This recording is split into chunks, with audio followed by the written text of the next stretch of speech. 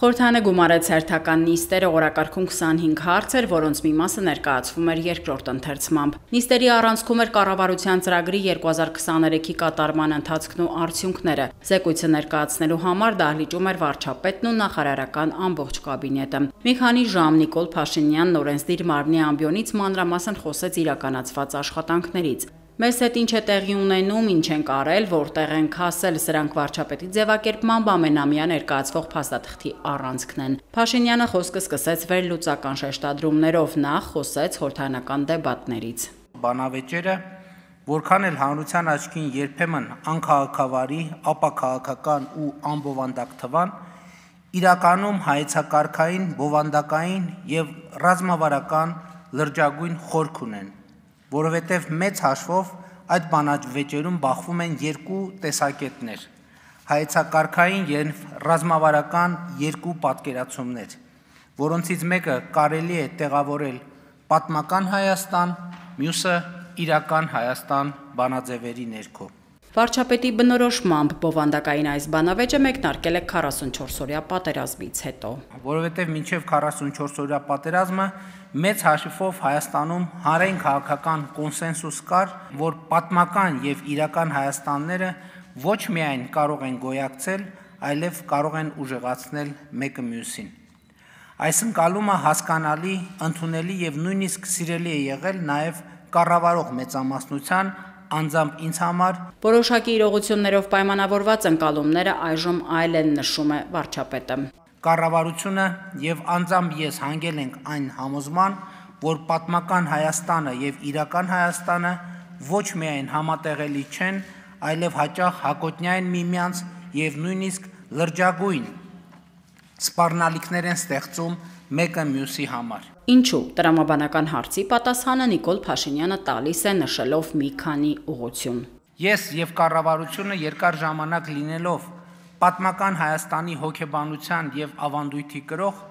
միայն 2022 թվականին արձանագրեցինք, որ Հայաստանի Հանրապետության անվտանգության ապահովման առանցքային գործոնը արհամարված է եւ մեր պետականության հիմնադրման առաջին տարիներից է դա տեղի ունեցել եւ այդ գործոնը Հայաստանի Հանրապետության միջազգայինորեն ճանաչված սահմաններն են Հայաստանի Հանրապետության միջազգայինորեն ճանաչված տարածքը։ Միայն 2022 թվականի սեպտեմբերյան պատերազմից հետո ես աներկբա եւ միանշանակ համոզվեցի, որ Հայաստանի Հանրապետության միջազգայինորեն ճանաչված տարածքի արձանագրումն է, որ կարող է լրացուցիչ եւ որոշիչ գործոն դառնալ մեր երկրի կարճաժամկետ, միջնաժամկետ եւ երկարաժամկետ անվտանգությունն ապահովելու հարցում։ Այդ պահից է, որ մեկնարկեց երկու գործընթաց քաղաքական եւ հոգեբանական վերոնշյալները արտացոլում են սահմանազատման գործընթացը իրական ու պատմական Հայաստանների միջև։ Իրական եւ պատմական Հայաստանների միջև սահմանազատման եւ սահմանագծման գործընթացը իմիջայլոց ավելի հեշտ չի ընթանում, քան Հայաստանի Հանրապետության եւ Ադրբեջանի Հանրապետության միջև սահմանազատման գործընթացը։ Եթե անկեղծ ասեմ, իրական Հայաստանի եւ պատմական Հայաստանի միջև սահմանազատման գործընթացը շատ ավելի ցավոտ է ընթանում, նաեւ այն պատճառով, որ այդ սահմանազատումը տեղի է ունենում մեզնից յուրաքանչյուրի ներսում եւ իհայտ է բերում անսպասելի շերտեր եւ նրբերանգներ։ Ըստ այդմ պատմական Հայաստանը չի ճանաչում իրական Հայաստանի տարածքային ամբողջականությունը որովհետև իրական Հայաստանի տարածքային ամբողջականությունը սահմանափակող գործոն է պատմական Հայաստանի համար եւ նրան դրսեւորվելու հնարավորություն չի տալիս։ Այս առումով վարչապետն ընդգծում է, որ կամա թե ակամա պատմական Հայաստանը ձայնակցում է մի շարք երկրների հետ, որոնք նկարտումներ ունեն իրական Հայաստանի ինքնիշխանության, անկախության տարածքների նկատմամբ, որովհետև իրական Հայաստանի տարածքային ամբողջականությունը միջազգայինորեն ճանաչված սահմանը նույն կերպ սահմանափակող գործոն է այդ երկրների ախորժակի համար, հավելեց երկրի ղեկավարը։ Նիկոլ Փաշինյանի դիտարկմամբ պատմական Հայաստանն առանցքային նշանակություն ունի մի շարք երկրների հետ մեր հարաբերություններում այն երկրների մի խմբի հետ մեր ճշնամանքի հարատև երաշխիք է եւ երաշխիք է, որ այդ երկրները մեր նկատմամբ ագրեսիվ քաղաքականություն վարելու պատճառաբանություն եւ բացատրություն կունենան։ Պատմական Հայաստանը նաև երաշխիք է, որ մենք մեր միջավայրում առանց կողմնակի օգնության ապրելու հնար եւ գիտելիք չենք ունենա եւ հետեւաբար միշտ հովանավորի ավակ ընկերոջ կարիք կունենանք։ Վարչապետի համոզմամբ սա էլ իր հերթին երաշխիք է, որ չենք ունենա իրական պետություն ու իրական անկախություն, որովհետև պատմական Հայաստանի մեր տեսլականն ընդմիշտ կառաջնորդի դեպի ցեղասպանության թակարդը, որտեղ մենք փրկչի ու հովանավորի կարիք կունենանք։ Վարչապետը դիմելով խորհրդարանին նշեց, որ ուշադրության է արժանի այն հանգամանքը, որ անկախությունից ի վեր ամեն անգամ դիմադրողի կեցվածք ենք ընդունել, երբ լսել ենք տարածքային ամբողջականության եւ սահմանների անխախտելիության մասին միջազգային սկզբունքի վերաբերյալ։ Որպես Հայաստանի Հանրապետության վարչապետ պարտավոր է մարձանագրել ու բարձրաձայնել։ Պետք է կենտրոնանալ իրական Հայաստանի շահերի սպասարկման գործի վրա ամբիոնից հայտարարեց Նիկոլ Փաշինյանը։ Ընդ որում, արձանագրելով պատմական Հայաստանի գործելակերպին եւ մտածողությանը երբևէ վերադառնալու կենսական անհնարինությունը ապագայում Այս համատեքստում վարչապետը հիշեցրեց, որ հակառակ պարագայում անվտանգային արտաքին մարտահրավերները հասցեագրելու շանս չեն կունենա ըստ Փաշինյանի կունենանք արտաքին սպառնալիքներ գեներացնող հարատև աղբյուր ամենօրյա իրականության մեջ։ Գործադրի ղեկավարը ներկայացրեց իրական Հայաստանի կոնցեպտը։ Իրական Հայաստանն այն է, որ ունի միջազգայինորեն ճանաչված տարածք եւ միջազգայինորեն ճանաչված սահմաններ։ Եվ այս փաստի գիտակցումով միջազգային հանրության լիարժեք եւ հարգարժան անդամի ինքնագիտակցություն Վարչապետ Փաշինյանը ներկայացրեց նաև իրական Հայաստանի տարածքային պատկերն ու փաստեց։ Իրական Հայաստանը միջազգայինորեն ճանաչված 29743 քառակուսի կիլոմետր տարածք ունեցող երկիրն է Հայաստանի Հանրապետությունը։ Եկել է ժամանակը, որ մենք ինքներս ճանաչենք Հայաստանի Հանրապետության տարածքային ամբողջականությունը։ Այս համատեքստում վարչապետը առանձնակի կարևորեց այն հարցը, թե իրական Հայաստանի հայեցակարգը որքանով է երաշխավորում Հայաստանի Հանրապետության անվտանգությունը։ Ժամանակակից աշխարհում, եթե գոյություն ունեն երաշխիքներ, Դրանք բացասական երաշխիքներ են։ Այսինքն, ինչ որ երաշխիքներով, ինչ որ չափով ապահովում են միայն բացասական սպասումները, իսկ դրական սպասումների իրականացման երաշխիքներ պարզապես գոյություն չունեն։ Եվ հետևաբար նմանօրինակ պայմաններում բացասական երաշխիքների կառավարումն ու չեզոքացումը այս ուղությամբ հետևական աշխատանքն է, որ կարող է դրական երաշխիք դառնալ ուրիշ ճանապարհ պարզապես չկա։ Բացասական երաշխիքների չեզոքացումը Փաշինյանը հնարավոր է համարում միայն լեգիտիմ քայլերի, լեգիտիմ փաստարկների ու հակափաստարկների հիման վրա եւ լեգիտիմ տարածքում գործելու պարագայում։ Սրանք չափազանց կարևոր նրբություններ են, որոնք առանձին առանձին գուցե շատ բան չեն նշանակում, բայց համակարգային ամբողջության, այսինքն փոխգործակցության մեջ անվտանգային նոր միջավայր եւ նոր պայմաններ կստեղծեն Հայաստանի համար։ Սա եւս մեկ անգամ արձանագրեմ դրական երաշխիք չէ, բայց կարող է այդպիսին դառնալ բացասական երաշխիքների հետևողական կառավարման եւ չեզոքացման պայմաններում։ Հենց այս ելակետից էլ մոտենում ենք մի շարք ընթացիկ մարտահրավերների, նշում է վարչապետն ու հիշեցնում։ Այս է պատճառը, որ դեմ չենք Ադրբեջանի հետ սահմանազատման գործընթացը սկսել Հայաստանի Հանրապետության Տավուշի մարզի եւ Ադրբեջանի Հանրապետության Ղազախի շրջանի 4 գյուղերի հատվածներից։ Վարչապետն անդրադարձավ հաճախ հնչող հարցերի։ Այդ հատվածներում սահմանազատումը եւ դրա արդյունքների իրականացումը երաշխավորում են արդյոք անվտանգություն։ Չի երաշխավորում անվտանգություն, բայց հարցը հասցեագրելուց հրաժարումը երաշխավորում է անվտանգային սպառնալիքների շարունակաբար մեծացում եւ այս բացասական երաշխիքը նախ պիտի չեզոքացնենք։ Հաջորդ հարցը. Իսկ այդ գործելակերպը երաշխավորում է արդյոք, որ Հայաստանի Հանրապետության տարածքի վրա նոր հարցակում չի լինի։ Չի երաշխավորում, բայց հակառակ գործելակերպը երաշխավորում է նոր հարցակում Հայաստանի Հանրապետության ինքնիշխան տարածքի վրա եւ այս բացասական երաշխիքը նախ պետք է չեզոքացնենք։ Լայն շրջանակներին հետաքրքրող հաջորդ հարցը վերաբերում է Տավուշի սահմանի վերոնշյալ հատվածի սահմանազատմանը։ Դա երաշխավորում է արդյոք, որ Ադրբեջանը կպահի սահմանազատումը շարունակելու տրամաբանությունը եւ կվերադարձնի մեր ավելի քան 3 տասնյակ գյուղերի կենսական նշանակության տարածքները չի երաշխավորում, բայց նշված հատվածում սահմանազատում իրականացնելուց հրաժարվելը երաշխավորում է, որ Ադրբեջանը չի վերադարձնի մեր գյուղերի կենսական նշանակության տարածքները եւ այս նեգատիվ երաշխիքը նախ պետք է չեզոքացնենք։ Խոսելով մեր հազարավոր զոհերի մասին Նիկոլ Փաշինյանը նշեց. Մեր զինվորները զոհվել են հանուն Հայաստանի պետականության, անկախության եւ ինքնիշխանության։ Վարչապետի դիտարկման բացատրությունը հետևյալն է։ 1996 թվականի ԵԱՀԿ Լիսաբոնի գագաթաժողովից հետո Լեռնային Ղարաբաղի հարց գոյություն չի ունեցել։ Գոյություն է ունեցել Հայաստանի Հանրապետության հարց։ Այն իմաստով, որ Լեռնային Ղարաբաղի հարցի բովանդակությունը դե յուրե կանխորոշող միջազգային ճարտարապետությունը այլևս պատրաստ է եղել ու անփոփոխելի արձանագրումով, որ Լեռնային Ղարաբաղը չի կարող չլինել Ադրբեջանի կազմում։ Եվ ահա այս արձանագրումից խուսափելու անորոշ ու սին հույսեր տալով որոշ պետություններ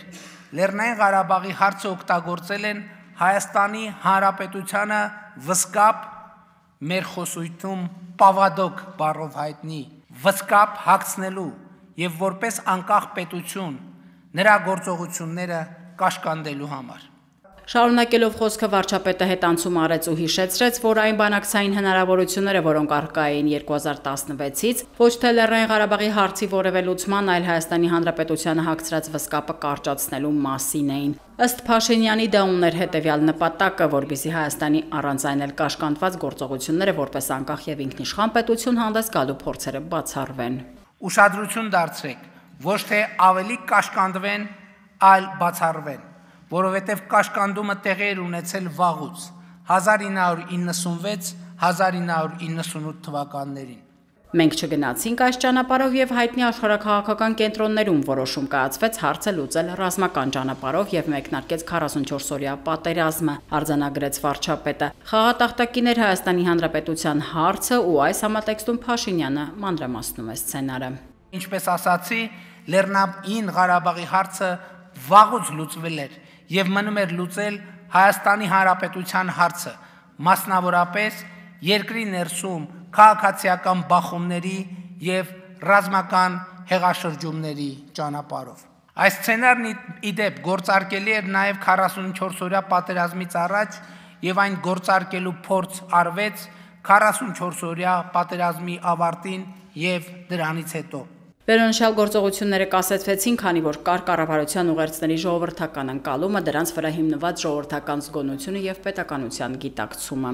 Իսկ մեր զինվորները կյանքի գնով պահեցին եւ պահպանեցին Հայաստանի Հանրապետության ինքնիշխանությունն ու պետականությունը։ 44 օրյայից հետո Հայաստանը որպես անկախ պետություն վերացնելու փորձերը շարունակվեցին, սակայն կատարվածից հետո դասեր ենք քաղել շեշտեց մեր երկրի ղեկավարն ու նշեց, որ պետք է ворթեգրել լրացուցիչ մեխանիզմներ զինված ուժերի քաղաքականացման հետակա բոլոր փորձերը բացառելու համար։ Վարչապետը մանրամասն ներկայացրեց տարբեր շրջափուլերի փորձերը, որոնք վտանգում էին Հայաստանի անկախությունը։ Բարձր գնահատվեց միջազգային հարթակներում երկարաժամկետ խաղաղության եւ կայունության հաստատման ուղղված քայլերն ու ի թիվս այլ հանդիպումների մատնանշվեց Պրահայի քարակողմ հանդիպումը որպես կարևոր արդյունք։ Փաշինյանն առանձնացրեց Հայաստան-Ադրբեջան սահմանի երկայնքով Եվրամիության դիտորդական առաքելության տեղակայումը։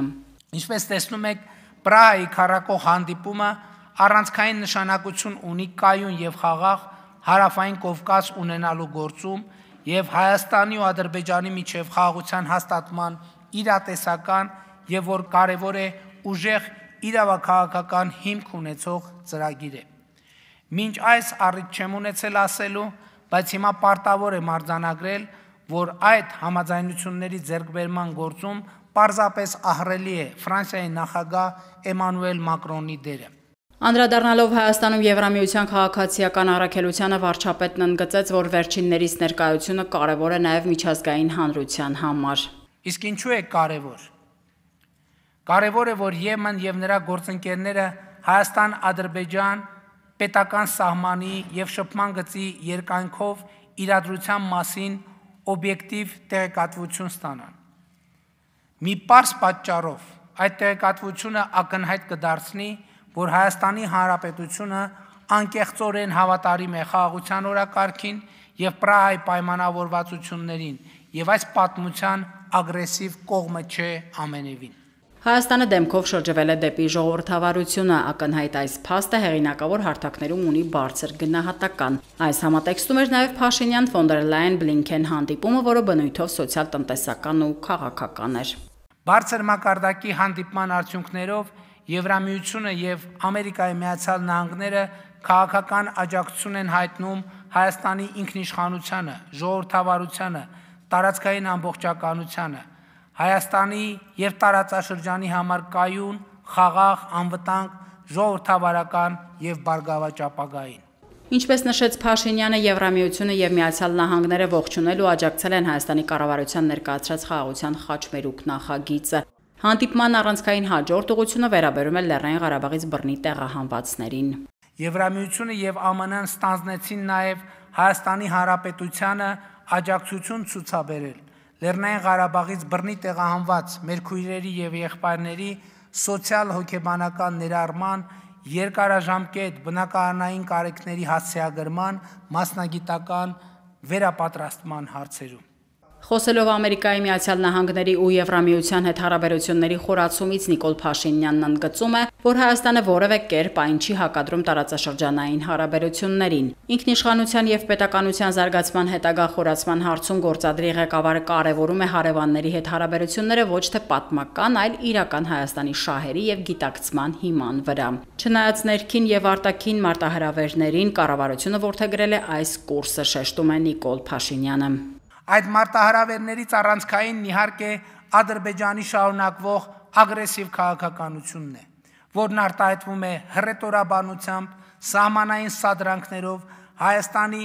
ինքնիշխան տարածքների շարունակական օկուպացիայով, սպառազինությունների տասնյակ միլիարդների հասնող ձեռբերումներով եւ այլն։ Ագրեսիվ քաղաքականության մաս են նաև Ադրբեջանի հայտարարությունները Հայաստանի բանակի բարեփոխումների պաշտպանական նոր կառույցների ձևավորման զենքի ձեռքբերումների մասին։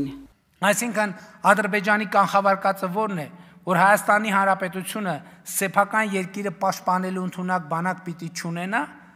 ասել եմ եւ նորից ուզում եմ ընդգծել։ Մարտունակ բանակ ունենալը յուրաքանչյուր երկրի ինքնիշխան իրավունքն է Բաքուն պետք է հասկանա, որ մենք չենք ուզում Ադրբեջանի հետ սպառազինությունների մրցավազքի մեջ մտնել, հավելեց մեր երկրի վարչապետը։ Իսկ եթե Ադրբեջանը այդպես չի մտածում, մենք այս դեպքի համար էլ առաջարկ ունենք ստեղծել սպառազինությունների փոխադարձ վերահսկման մեխանիզմ, իրականացնել զորքերի հայելային հետ քաշում սահմանային գծից, ինչն ի դեպ կլուծի եւ Ադրբեջանի բարձրաձայնած 4 գյուղերի եւ մեր 31 գյուղերի հարցերը իրականացնել սահմանային հատվածների ապառազմականացում եւ ամբողջ սահմանի պահպանությունը հանձնել սահմանապահ զորքերին։ Պաշտպանության նախարարությունների ստորաբաժանումները յետ տանելով դեպի մշտական տեղակայման վայրեր։ Անդրադառնալով տարածաշրջանային քաղաքականությանը Փաշինյանն ընդգծեց Իրանի Իսլամական Հանրապետության առանձնահատուկ կարևորությունը։ Պետականության հնագույն ավանդույթներ ունեցող մեր այս հարևանի հետ մեր հարաբերությունները հիմնված են բնական շահերի վրա, ինչն այդ հարաբերությունները դարձնում է առանձնահատուկ։ Վարչապետի ելույթից անմասն չէին նաև Թուրքիայի հետ մեր հարաբերությունները։ Այստեղ սպասում ենք ձեռքբերված եւ պաշտոնապես արձանագրված պայմանավորվածությունների իրագործմանը։ Այն է,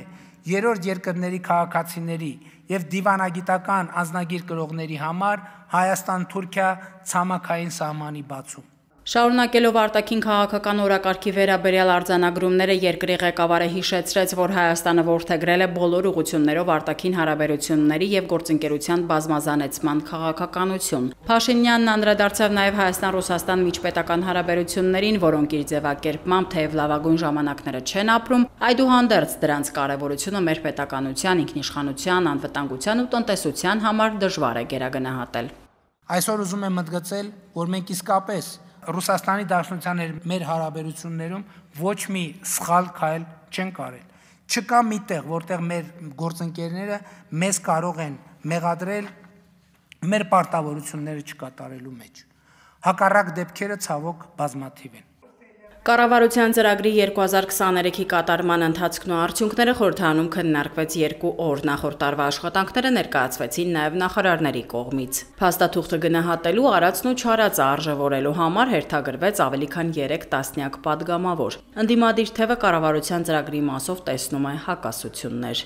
Ներկայացված զեկույցը ոչ թե կառավարության ծրագրի կատարման, այլ ավելի շատ հակասությունների եւ կարելի ասել չկատարման մասին է։ Երեք այստեղ հնչած ելույթը, այստեղ ներկայացված ծրագիրը մի բանի մասին է։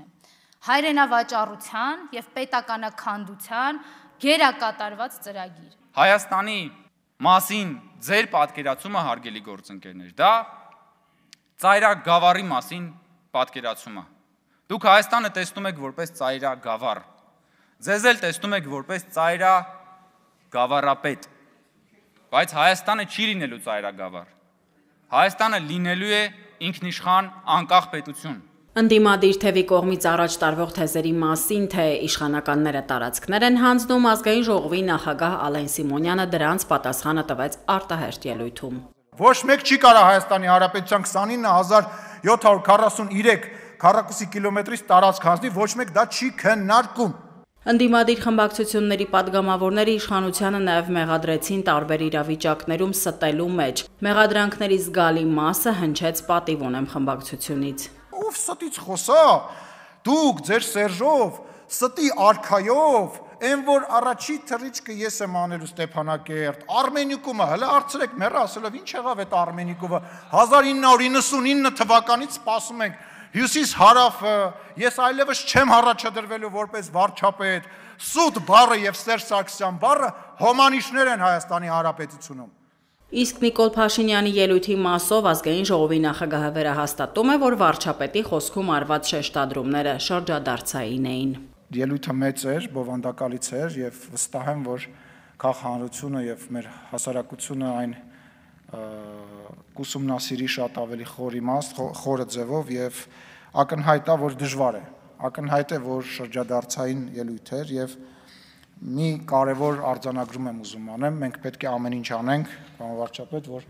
սխալները չկրկնենք։ Այո, եկել է մեր սխալները սրբագրելու ժամանակ նույն սխալը անընդհատ չեն կարող անել,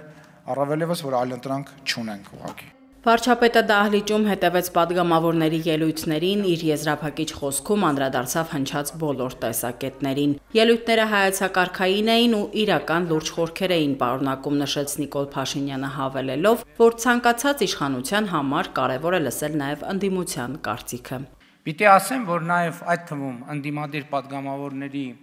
ելույթներում կային բազմաթիվ հարցեր, որոնց վերաբերյալ